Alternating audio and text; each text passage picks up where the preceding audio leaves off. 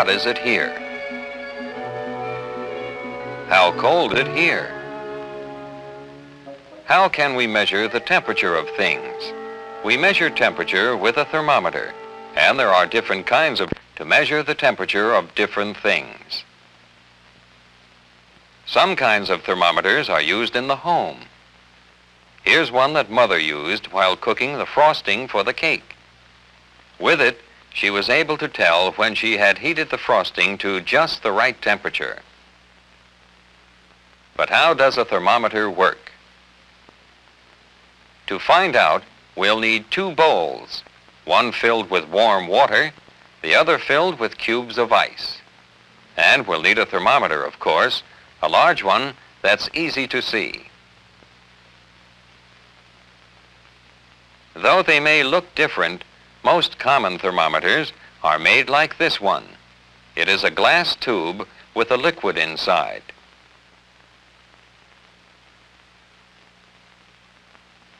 When we put the thermometer in the bowl of ice, the level of the liquid begins to go down. It is going down because the ice is cold and cold makes the liquid contract. It makes it grow smaller. So whenever the thermometer touches something cold, the level goes down. When we put the thermometer in the warm water, the level begins to go up. Warm things make the liquid expand or grow larger. So whenever the thermometer touches something warm, the level goes up.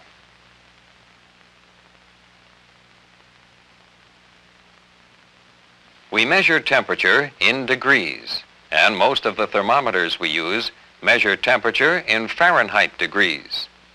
On the Fahrenheit scale, water boils at 212 degrees. Water freezes at 32 degrees Fahrenheit.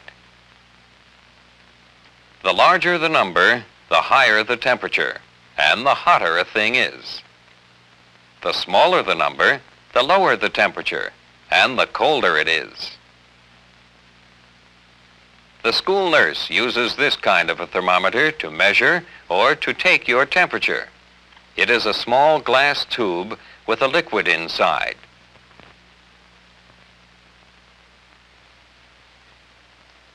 Because the tube is glass, you must treat it carefully and sit very still while it is in your mouth so it won't be broken. It is warm inside your mouth, so the liquid in the thermometer is expanding and the level is going up. When the liquid stops, it shows exactly what your temperature is.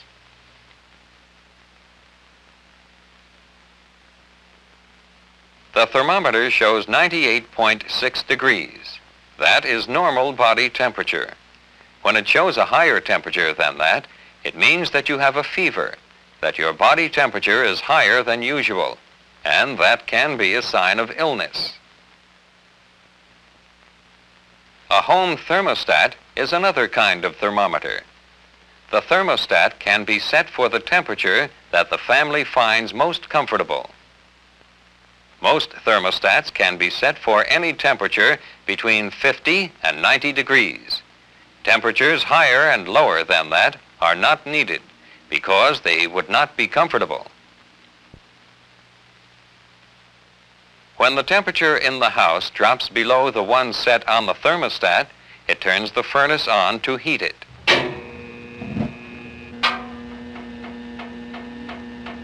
And when the temperature is right again, it turns the furnace off. This keeps the house at just the right temperature, even on a cold winter evening. Thermometers are used in the kitchen too.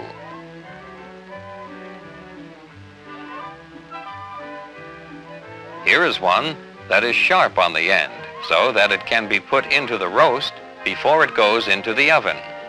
It will show the temperature of the meat as it cooks so that mother will know when it is done just the way the family likes it.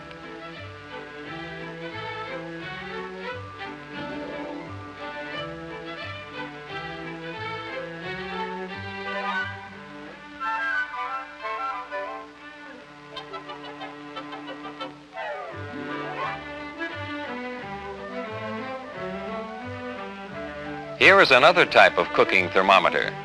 This is the one Mother used when she was making the frosting for the cake. She uses it when she cooks other things, too.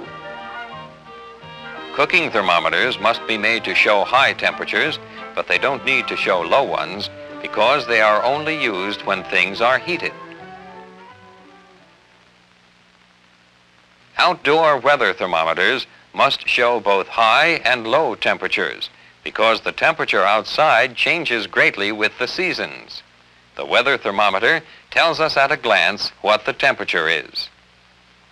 It could be 85 degrees or higher on a warm summer day, and that would be a good day to splash in a backyard sprinkler or to go for a swim at the beach.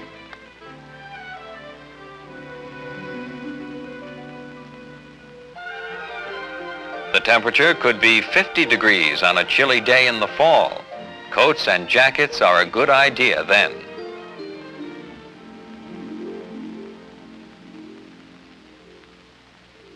The temperature could be 32 degrees on a winter day or even lower. It gets much colder than that in some places, and the outdoor weather thermometer must be able to measure all of these temperatures.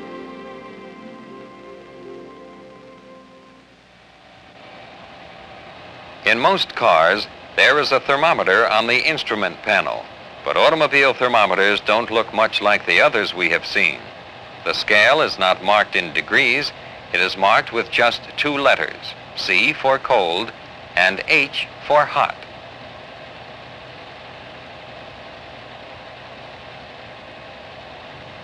If the red needle on this thermometer goes up to H, it means that the car's engine is too hot and water is needed to cool it.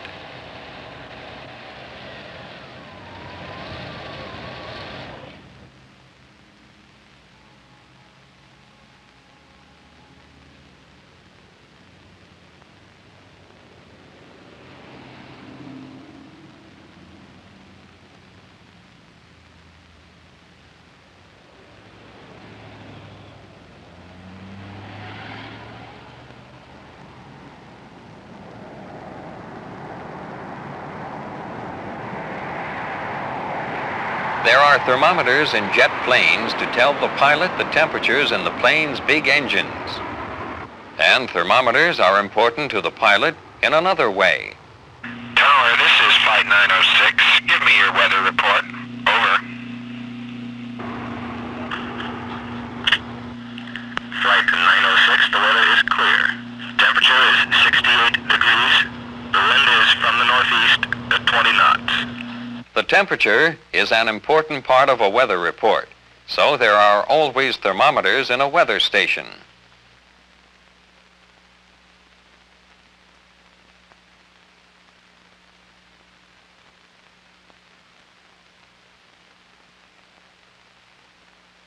They are much like the weather thermometers found in homes, but they are larger usually and accurate enough to measure even the slightest change in temperature.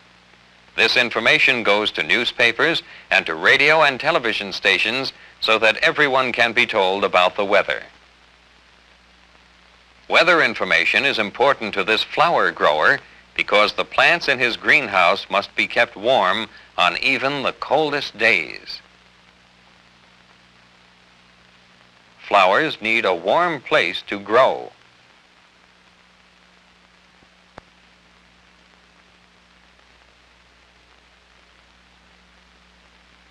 A cooler place is needed once the flowers have been cut. The flowers would not stay fresh in the flower shop if they were allowed to get warm on a hot day.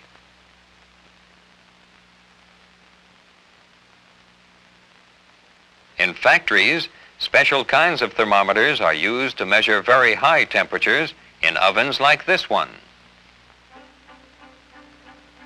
Or to measure the very low temperatures needed to freeze vegetables and other things we eat.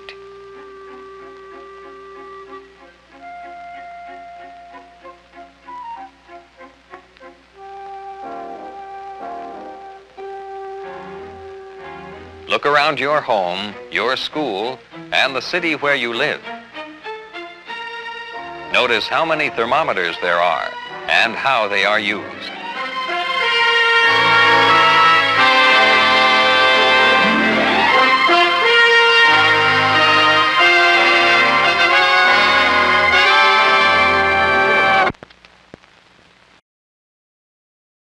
To just the right temperature. But how does a thermometer work? To find out, we'll need two bowls, one filled with warm water, the other filled with cubes of ice. And we'll need a thermometer, of course, a large one that's easy to see.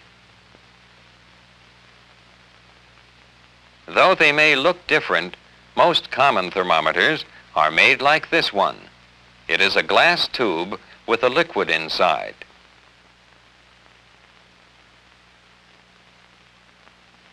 When we put the thermometer in the bowl of ice, the level of the liquid begins to go down. It is going down because the ice is cold, and cold makes the liquid contract. It makes it grow smaller. So whenever the thermometer touches something cold, the level goes down. When we put the thermometer in the warm water, the level begins to go up. Warm things make the liquid expand or grow larger. So whenever the thermometer touches something warm, the level goes up.